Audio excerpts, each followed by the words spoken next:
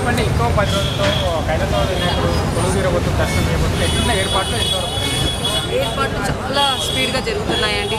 So మీరు చూసారు కొంచెం లేట్గా ప్రారంభమైంది కానీ గణపతి విఘ్నేశ్వరుడు ఆయన విఘ్నాలు లేకుండా స్పీడ్గా వెళ్ళిపోతున్నాడు. కాకపోతే కొంచెం ఇంకా పది రోజుల నుండి కలర్స్ కూడా ఈ రైట్ సైడ్ లెఫ్ట్ సైడ్ అయితే ఆల్మోస్ట్ ఎయిటీ పర్సెంట్ అయిపోయి వినాయకుడిని కూడా ఈ రోజు అలా స్టార్ట్ చేసేసారు. మొన్ననే వైట్ అంతా వేసేసారు వైట్ కలర్ అంతా. మిగతా కలర్స్ అన్నీ మాత్రం ఈ రోజు నుంచి సాగుతూ ఉంటాయి. మే మా టార్గెట్ మాత్రం బిఫోర్ టూ డేస్ పండగకి ముందు టూ డేస్ ముందు భక్తులకి కళ్ళతో సహా ఓపెన్ చేయాలనేది మాకుంది.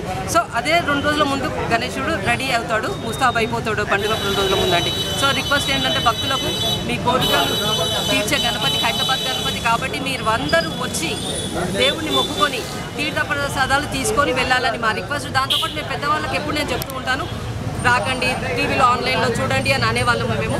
కానీ ఈసారి మాత్రం నేను ప్రతి ఒక్కరిని రాలేని వాళ్ళు పెద్దవాళ్ళు పెద్దవాళ్ళైనా రాలేకుంటే ఎర్లీ మార్నింగ్ రండి. మార్నింగ్ వస్తే కొద్దిగా రెస్ట్ తక్కువ ఉంటుంది. వాళ్ళు చూసి తన్ని తీరా ఆనందించాలి భగవంతుడని నేను అనుకుంటున్నాను. సో ఈసారి మేము చెప్పినట్టుగా డెబ్బై ఫీట్ల గణపతి డెబ్బైవ సంవత్సరము డెబ్బై ఫీట్ల గణపతి ఏడు ఏడు తలకాయలు ఏడు పాములు ఏడో తారీఖు ఫెస్టివల్ పదిహేడో తారీఖు నిమజ్జనం. సో ఇన్ని కలిసి వచ్చిన భగవంతుడు ఎలా ఉంటారో మీరే ఊహించుకోండి.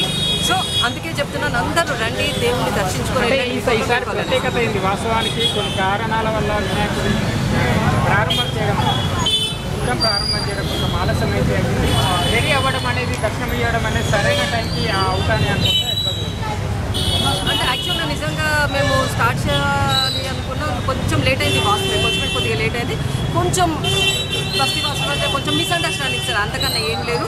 అందరం ఇప్పుడు కలిసే చేస్తున్నాము కలిసి కట్టుకునే ఉన్నాము దాంట్లో నో డౌట్ సో కాబట్టి అందరం కలిసి చేయడం వల్లనే భగవంతుడి పనులు కూడా స్పీడ్ స్పీడ్గా అవుతాయి.